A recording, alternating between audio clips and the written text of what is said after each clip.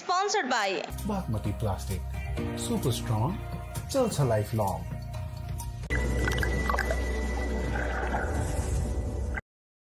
दर्शकबिन नमस्कार स्थानीय खबरहरूलाई प्राथमिकतामा राखेर रा हाम्रो विराटनगरले तयार पारेको टप टेन खबरहरूमा यहाँहरूलाई हार्दिक स्वागत छ सुरु गरौँ आजका टप टेन खबरहरूबाट विराटनगरको रोडसेस चोक स्थित एक गीत गजलमा प्रहरीले छापा मारेर एक दर्जन जुवाडेलाई पक्राउ गरेको छ। विराटनगर बाह्र रोडसेस चोकदेखि थोरै दक्षिणमा रहेको सरगम गीत गजलमा प्रहरीले छापा मारेर बाह्रजना जुवाडेलाई पक्राउ गरेको हो। प्रदेश प्रहरी कार्यालय विराटनगरको ब्युरो टोली र जिल्ला प्रहरी कार्यालय मोरङबाट खटिएको प्रहरी टोलीले गीत गजलका सञ्चालक विमल मुखियासहित बाह्रजनालाई पक्राउ गरेको हो। सुनसरीको इटहरी उपमहानगरपालिका वडा नम्बर दुईमा ग्राइवेल सडक सम्भ्याउने क्रममा शनिबार बम फेला परेको छ। इटहरी दुई स्थित राजदेवी टोलको पोङदोर्जी सडक मार्ग ग्राभेल गर्ने क्रममा ग्रेनेड बम फेला परेको सुनसरीका प्रहरी उपरीक्षक सञ्जय सिंह थापाले जानकारी दिए। सुनसरीको भुक्रहा नर्सिङ गाउँपालिकामा ओ आठ प एकचालिस पन्ध्र नम्बरको मोटरसाइकल आफै अनियन्त्रित भई दुर्घटना हुँदा एकजनाको मृत्यु भएको छ।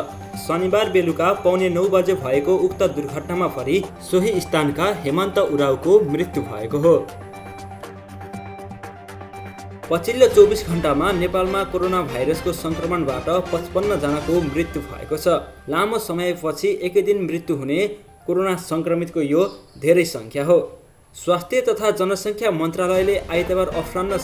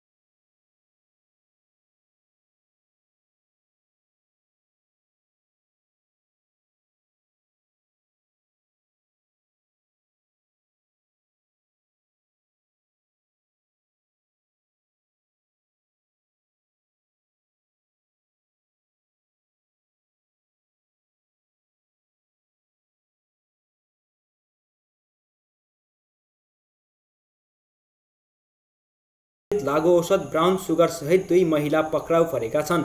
पक्राउ पर्नेमा दमक नगरपालिका एक हिमाली चौकी पैँतिस वर्षीय मन्जु धिमाल र पच्चिस वर्षीय विमला धिमाल रहेको सशस्त्र प्रहरी बल नेपाल दुई नम्बर गण झापाका एसपी रमेश कुमार पाण्डेले जानकारी दिए।